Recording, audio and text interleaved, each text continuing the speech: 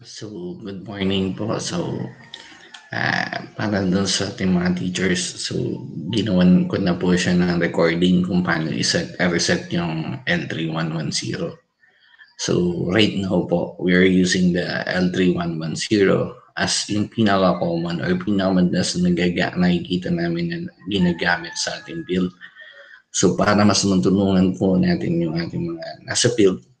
So, kaya po ilalabas, ginawa na na ako na itong video na to. So again po, this is a non-profit video, libre lang po ito.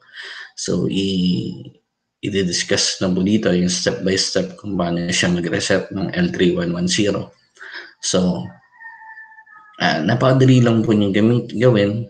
May mga instructions ka lang na gagawin. So, simulan na po natin. So,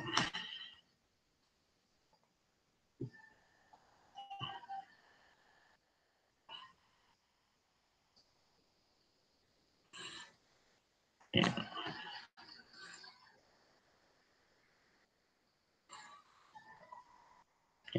So, ang pinakauna po natin is uh, kailangan muna natin i-turn off ang ating antivirus. Kung kayo po ay may antivirus, kailangan nyo ito munang patayin.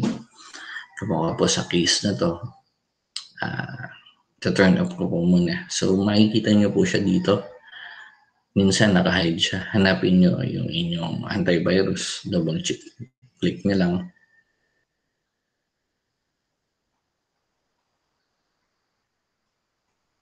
Ayan. So, eto po. Click ko lang itong secure. Ah, real-time scanning.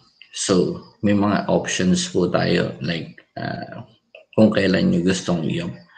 Uh, uh, kamukhan po nito, ito turn off ko yung aking uh, sabihin natin when I restart my PC or depende sa inyo kung kailan nyo siya uh, gustong i-on ulit.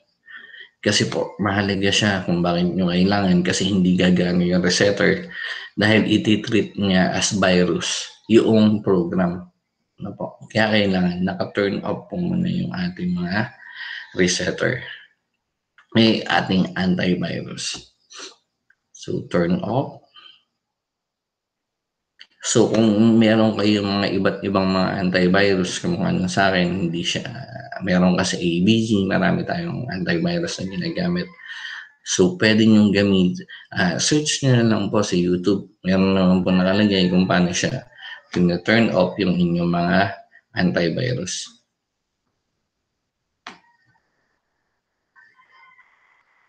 So, andito po yung link na pwede nyo pag-downloadan ng ating uh, printer driver sa ating resetter. So, number one po, pag i-reset nyo siya, kailangan naka-install sa inyo yung printer. So, ito po ating mga link ay mamaya ilalagay ko po doon sa ating uh, sa post sa ating FB. So, ang password po ay yung pong ating i-download kasi ay galing siya sa media file. So, copy ko lang po itong link. Pero po kayo, pagka-click nyo yung link, ma, ma mag-redirect na po kayo dun sa pagda-downloadan. So, pakita ko lang po.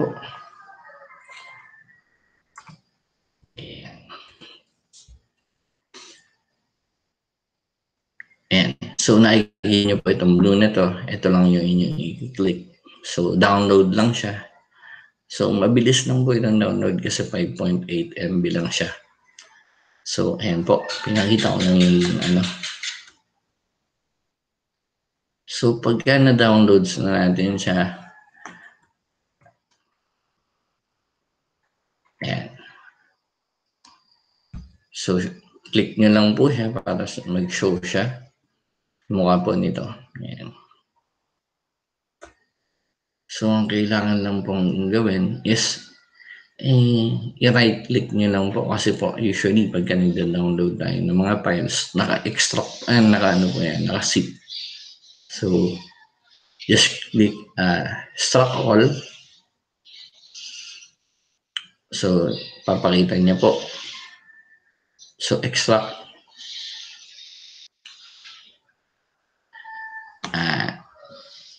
dahil po ako meron na akong file na ganito. Uh, sa inyo po, hindi po ito lalabas. No? So, sa inyo, dire-diretso lang. So, pagka hiningin po kayo ng password, ang password po ay big boss. Ito po. No. Kasi po hindi po siya sa akin, hindi po ako yung host ng file. So, kinuha ko po siya sa isang YouTuber natin. So, ayan po.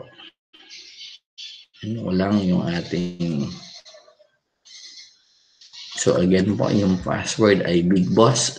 Small letter po siya lahat. So magtutuloy-tuloy na po yan. Ayan. So nakita nyo na po, uh, meron na po akong na-extract. Na-extract ko na po siya. Ayan. So open po natin uh, punta kayo sa Epson. Uh, open ulit natin, Epson 3110 multi-PC. Uh, punta ulit kayo dun sa loob. Hanapin nyo po itong ADG Pro or yung adjustment program. Click nyo siya. So nakita nyo po, the device has been registered to CNCN. May nakalagay pong ganun. Kasi uh, na-register siya dun sa unang gumamit.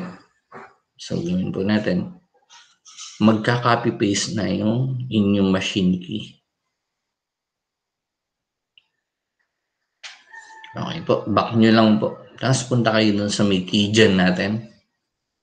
Keygen. Ayan po.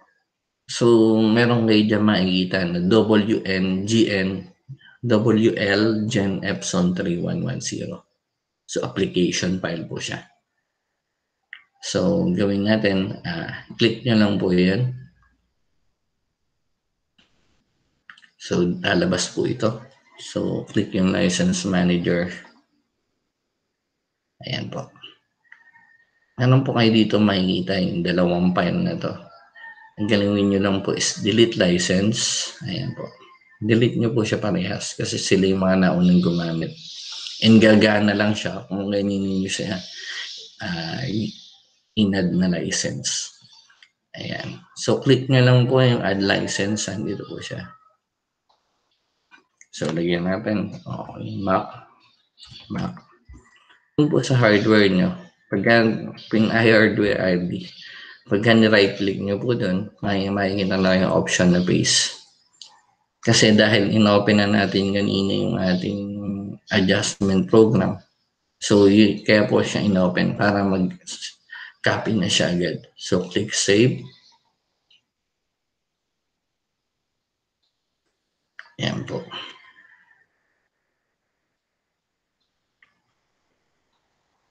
So, pagka ito po ay uh, create license key. Ayan. So, keygen. Okay. So magkakaroon po tayo dito ng folder. Ayan, nakita niyo po yung folder na to, map-map. So open nyo lang po siya. Select all nyo lang. On control A, control plus A, maghahamak na sa. Tapos control C or copy. Pwede right click nyo, copy. Back po kayo. Ayan, back. Back. Punta po ulit kayo dito sa Epson L3110 multi-PC. Sa loob po ulit, multi-PC. Dito po sa loob na to, dito nyo po siya ipipaste.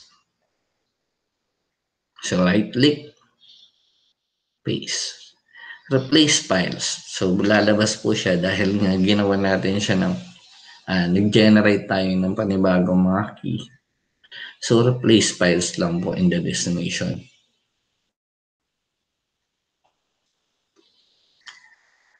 Ayan. So,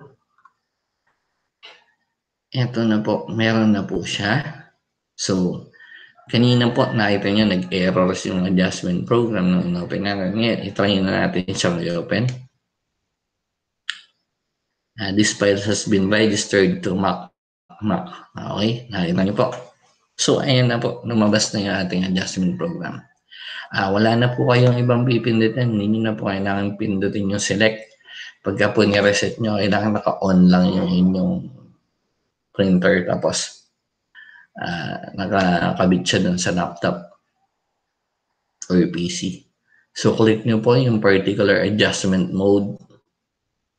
Uh, pagka po tayo ay nagre-reset o nagsa-service required na ating printer, So, punta lang po kayo dito. Ang piliin nyo lang po dito ay Waste, waste Ink Pad Counter. Yan, click OK. So, una po, i-check nyo po itong dalawa na to, yung main pad counter and flatten pad counter. Then, click check. And dahil wala po akong nakakabit na Epson 3110, uh, wala pong lumabas na. Pero sa inyo sa question, meron po yan na digit na lalabas. Then, gaya rin po nyo i-check. Lagyan nyo din po ito na check. Then, click initialize. Pagka po nag-initialize, uh, ipapa-turn off mo na yung inyong laptop, ay yung inyong printer. So, ganun po ang mangyayari. So, pagkayari po na mag-initialize, matatapos po yan, magpo-prompt po yan. Pagka po chinek nyo ulit, so pagka check nyo po ito ng dalawa ulit, tapos yung check. Usually po, nasa 6,000 plus po yung points na makikita nyo dito sa may uh, dito sa taas ng main, main pad main pad counter. So makikita nyo po, pag reset nyo, babalik siya sa zero point. Then click finish. So yun po, ganun lang po siya kadali na i-reset. Hindi nyo na po kailangan gumastos. Kasi po medyo malayo po ako. Tapos uh, meron akong nakikita na uh, may message request po pala. Medyo late ko na nakita kaya po ginawa ko yung video.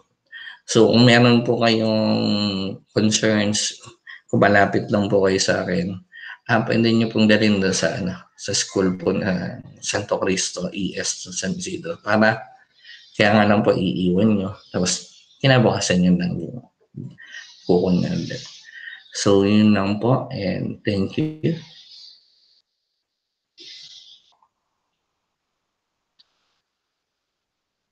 So, bye.